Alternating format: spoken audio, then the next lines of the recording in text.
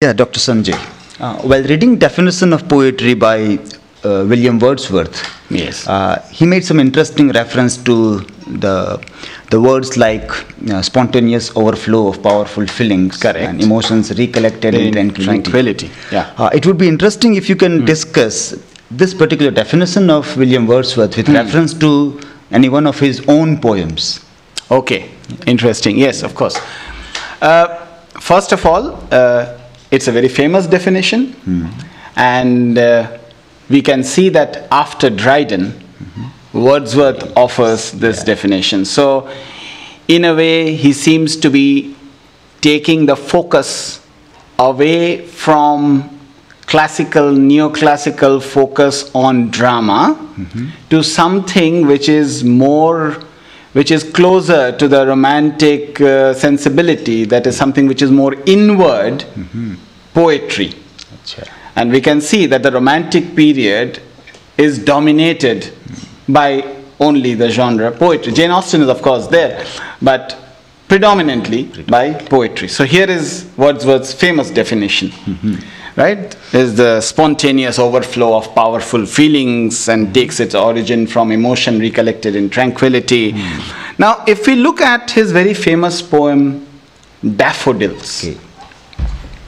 We will find that Daffodils is a poem which has four stanzas and three, top three, first three stanzas out of four, the tense is the past, Okay.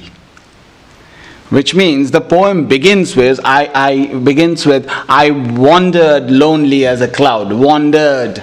Past tense. Yeah. Then it goes on, and 10,000 saw I at a glance. Mm-hmm. Saw I at a glance. I gazed and gazed, but little thought. Mm-hmm. Okay. If you look at it, and then the final stanza, when it comes, that for oft when on my couch I lie in vacant or in pensive mood, mm-hmm. they flash upon the inward eye. Now that takes it into the present. Okay.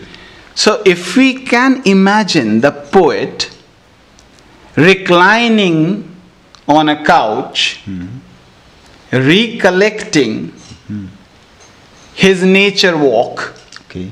lake poets, very famous for their walk in the mm-hmm. Lake District, and there he must have seen a whole wide stretch of daffodils Okay. And he must have his inward eye must have captured that. And now he lies. There is also typical to especially wordsworth and subsequent romantic poets the city countryside divide. When he is pensive when he is vacant often he is in a city ambience and when he is very vitally energized he is always in the lap of nature Okay. now when he is in a vacant or in pensive mood he recollects Okay.